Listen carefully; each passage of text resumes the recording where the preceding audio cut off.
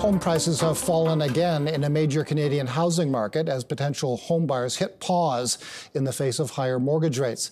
This time it's Toronto, where prices and sales volumes in July fell once again from the month before. And once again, the Real Estate Board is calling on all three levels of government to make changes to rules and fees that affect housing supply and affordability. For more, we're joined by an expert. He's John Pasalis, president of Realosophy Realty. John, welcome to the show and thanks uh, for being here.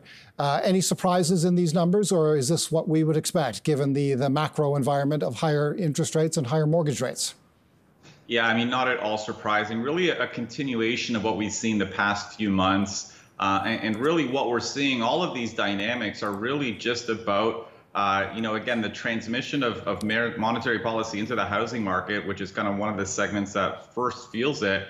Uh, and what it's really doing right now is just destroying demand. I mean, and sales are, are, are unbelievable lows at 20 year lows. Uh, and that's really what's driving down home prices in the in the housing market right now. Uh, so, what lies ahead? We know uh, with a, a, a, quite a degree of certainty that more rate hikes from the Bank of Canada lie ahead.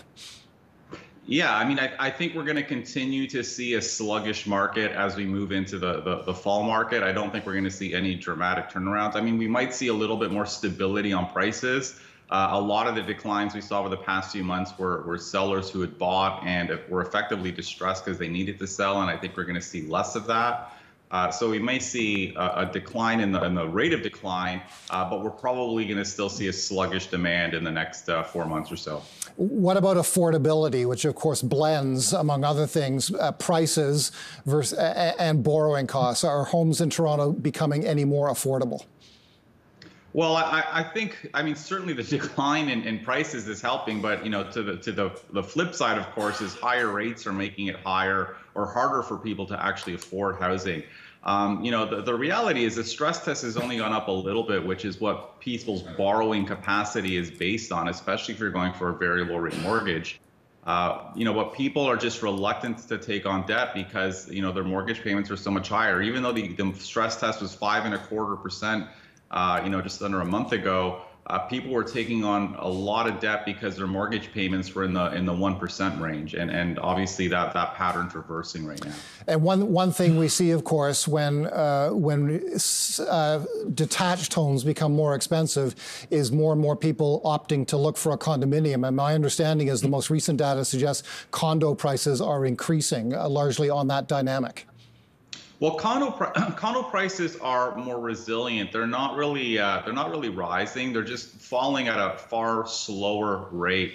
Uh, low-rise homes now this month are actually down year over year. Uh, condo prices are still up year over year, so that's probably the TREB numbers that that the real estate board's reporting. Uh, but this, again, I think a large is a, largely a function of the fact that the sellers are not as distressed in the condominium market. They're a little bit more patient. If they can't get the price they want, many of them are just taking them off the market and renting them because the rental market is so strong. Uh, so this has really supported kind of condo prices a little bit more uh, than low-rise prices. Once again, TREB, the Toronto Regional Real Estate Board, is imploring uh, governments, uh, uh, let's begin with the federal government, to make changes to mortgage rules. It thinks those stress tests that you've referred to need to be reassessed. Would that be a, a wise, and I think by, by reassessed, it means relaxed. Uh, what, uh, would that be a wise move in this, in this market? I mean, it, it's not as irrational as it sounds. I mean, the, you know, the stress test was largely put in place uh, to to curb how much debt people can take on when rates uh, were were sort of trending down. So, you know, do people need to stress test today at seven plus percent uh, if they're getting a five-year mortgage? I mean, that's debatable. Uh, so, you know, I don't think it's as, as irrational it was. I mean, again, the real estate board was calling them to relax it even in a booming market. So we have to take their advice with a grain of salt. But I think today in today's market, it, it doesn't seem as, as irrational as uh, one might think. And uh, longer amortization periods of up to 40 years. Your thoughts there? You know, again, I think this is, I, I don't know if they need to do this again. This is really just about demand stimulus. I would not be surprised if the federal government looks at it if we continue to see downward pressure on prices. Uh, but you know, we, we don't need to necessarily extend amortizations. I mean, it's probably better to the market to adjust to a level that people can afford with 25-year amortizations. You know, we don't want to be paying off our mortgages for 40 years. So Uh, I think it's probably more prudent to keep amortization levels the way they are, let the market adjust, and we'll reach a plateau that's a little bit more affordable for people. The, the uh, real estate board also takes aim at uh, City of Toronto development charges. It says those charges, coupled with other government fees, uh, uh, uh add up to $350,000 for every new detached house and over $180,000 on a new condominium. Those are those are awfully big numbers on fees.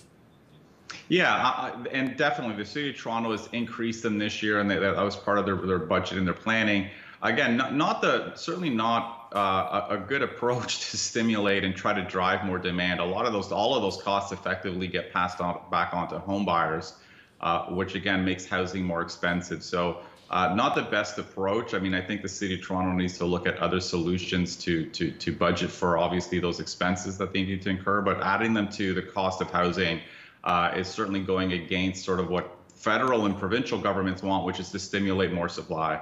Any advice uh, before we say goodbye uh, for somebody looking to buy, uh, let's say, a single family home, uh, detached home, or a condominium in Toronto? You know, I think in this market, buyers need to be very patient. I think they can be a little bit greedy. Uh, the market is on their side, and they need to be very careful what they're paying because prices are, are, you know, trending down rapidly in some markets. And you know, from from one month to the next, you know, prices are dipping four or five percent. So they need to be careful with the prices that they're paying. John.